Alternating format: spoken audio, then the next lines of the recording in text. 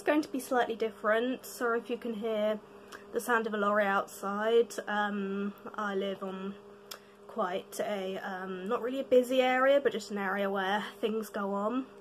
Um, so today I got the idea from ItzKeisha, she's really good, you should check her out. Basically I'm going to be, excuse me, going through my um, debut single Iridescent, going through the lyrics, and also the song Diva. I'm going to be singing a bit of it. Um, the song Iridescent is the intro song for this video, and um, Diva is the, yeah, and it's my, um, Iridescent is the intro song for this video, and it's also my debut single, and Diva is the little, um, promotional single that went with it and um, because I'm going to be releasing a new song very soon I've been putting teasers all over my Instagram and my Facebook page. Please follow me. It's Alexis Grey Music and my um, Facebook page is just um, Alexis Grey. Okay, so um, basically I'm going to be going through the lyrics and just explaining their meaning because both Diva and Iridescent are very personal songs to me. Okay, so, um, and I'm going to do that with the new song when it comes out. I'm going to be actually recording it tomorrow. Really looking forward to that. I'm going to be in the studio tomorrow, so without further ado, here is my um, my explanation for Iridescent. So Iridescent is basically, um, at its core, it's a self-empowerment song, but it's also very personal to me. It's about how I've often felt throughout my life people have tried to like, excuse me, don't worry, I've not got the coronavirus, this is my allergies. Um, I've already been tested for the coronavirus and I don't have it and I'm being careful, wearing my mask and everything. Sorry I keep going off in tangents, must really annoy my viewers. Well basically, Iridescent, I've always felt like people have always tried to categorise me and tried to make me sort of like what they want me to be rather than what I actually am and it's telling people that I'm iridescent, I'm a lot more complicated than that, I'm not just that colour, I'm lots of colours, there's so many sides to me. So um, we're going to start. When you look at me, you assume I am easily definable. You put me in a box, you want me to be your designable that's basically just what I've been saying, how sort of like um, people just want to believe that they can define me and um, that they can decide what I am, but like they don't really know who I am. But there's luminescence to me that you refuse to recognize. I'm not your property, though I have no luster in your eyes basically like the first line um, but there's luminescence to me which you refuse to recognise. People refuse to see all the size to me. They just carry on just wanting to see um, just sort of like what they want to see and um, I'm not your property. Like you don't own me and you can't decide what I am. And But I am a monochrome in your eyes. Like again just saying that like you're just, they're just saying that like I'm just one colour in their eyes where I, am actually all these colours. Um, I mean, I have no luster in your eyes. Sorry, I'm getting the lyrics. I'm getting the lyrics um, muddled. I have no luster in your eyes. I have no shine. I have no brightness. I'm just this kind of bland thing that people want me to be. And so, without further ado, I may have been someone's monochrome, but that was long ago basically that is just sort of like I felt when I was younger I would more sort of like conform to what people wanted of me and I would I was more scared to be myself and I was more scared to sort of like not sort of like let people manipulate me more and I would let people sort of like put me in a box more and sort of like um it's all just kind of related to that and sort of like saying but that was long ago like that's not who I am now. Now I am who I want to be and um I am this that I'm talking about now after all these years I've broken free, not one dimensional. Yeah, um, just repeating that again. And then of course the chorus, I'm iridescent,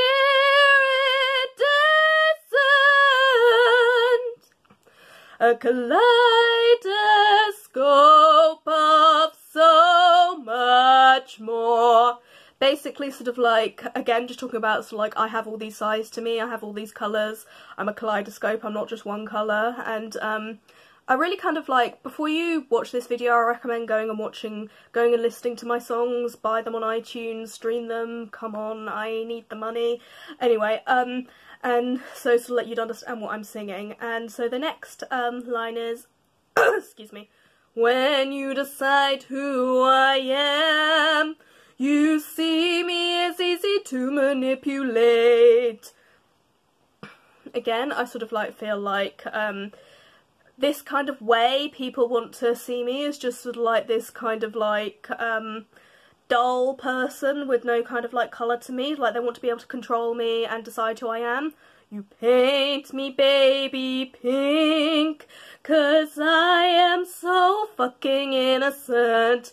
Again, I just feel like a lot of people like always saw me as the innocent girl. It always really got on my nerves. I was always seen as kind of like the sweet, submissive little girl, and it sort of also is kind of based on when I was um excuse me, when I was about 10 years old, I was my favourite colour was blue and I was holding up this um, thing and like someone said, oh I'm surprised you're not holding up the pink one, isn't pink your favourite colour because you're a girly girl? And I was just like, no I like blue and so it's like that's what baby pink is related, also like baby, innocence, sort of that.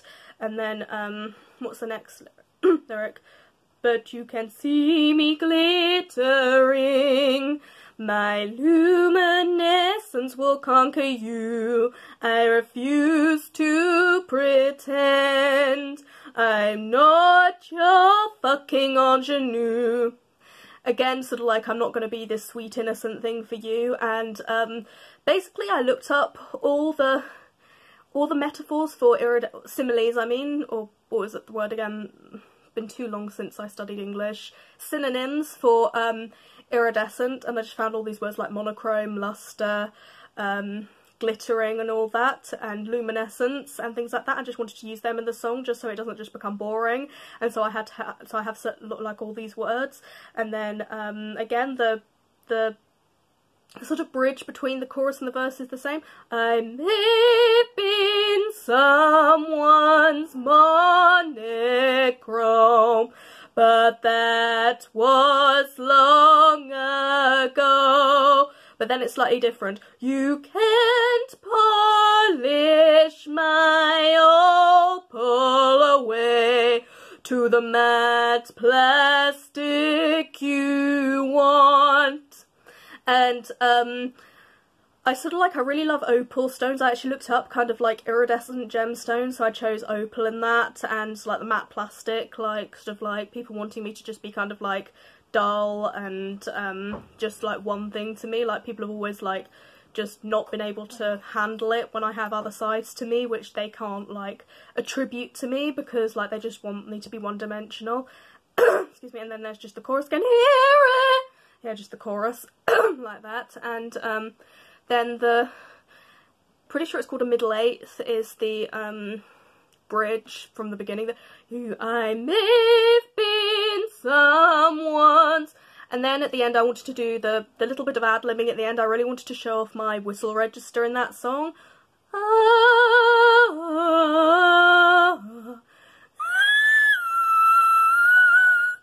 Sorry, my whistle register is very hit and miss. Like, sometimes I can do it, sometimes I can't. Let's try and do it again.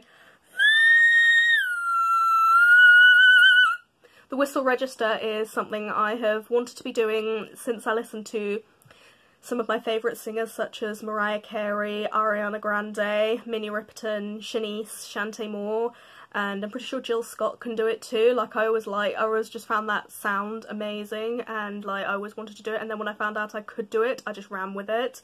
And I wanted to bring it into the song to sort of like bring a bit of kind of etherealness, I don't even know if that's a word, to the song and things like that. And so that's Iridescent Explained. It's about how I'm not just going to be what you decide I am because all my life I've had people try to decide who I am and I'm not going to be that anymore. I'm so much more complicated than that and I'm using colours and kind of iridescence and shine as a metaphor.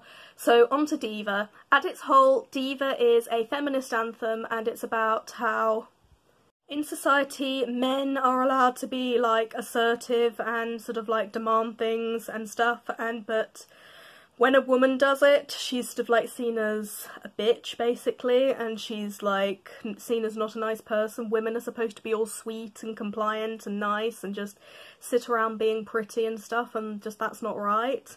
And um, a lot of it is based on sort of like how I used to be treated for, for being too opinionated and having too much of a mouth on me and um, I was often told as a child I was too opinionated and I needed to tone down my opinions whereas like if I was a boy I would not have been told that at all. Sorry that's receiving an email or something, don't worry about that sound. And I kind of looked at like how a lot of like female celebrities are treated who are seen as divas and a lot of the time it's just because like they're assertive and stuff whereas like male celebrities are not treated so much like that. They're just seen as kind of like having a rock star attitude and it's almost seen as admirable. So um, I'm going to go into the lyrics in detail now. I throw tantrums over nothing. I always trash my room. Nothing's ever good enough for me. Again, that is um, kind of like based on sort of like the way the diva is portrayed in um, media. Sort of like when she doesn't get her own way, she trashes her room, and it's kind of like using those stereotypes like that. And then um, the next lyrics are, I always seem to come first, always me over you. That's what people say that's sort of like showing the the line that's what people say about me is just sort of like um showing that's just what people say. Like it's just kind of being ironic about it and showing that's like maybe it's true maybe it's not we don't know. And then um the bridges we all know that i have an oversized ego and can be difficult but maybe it's all because you control me. And that is just about, um, sort of like, we say these women so like they're difficult and they have big egos, but maybe it's just because sort of like they bruise the egos of men. I'm a diva. I don't put up with your crap and don't believe her.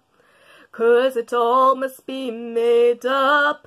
Don't believe her because it all must be made up is kind of like, um, kind of based on the way when a woman speaks out about sort of like sexual assault or something like that, like um, our immediate like instinct is to victim blame her or say she's lying or something and it's actually based on I'm not going to say who the female celebrity is but basically this female celebrity who is kind of seen as a diva by the public um, although she is actually kind of cool um, basically not very well known spoke about out, out about abuse from a very famous director again I'm not going to mention any names and on a forum talking about it, there were just so many people saying like, oh, she's lying, she's making it up, like, he's not that bad and stuff like that. And I just felt like that just summed it all up.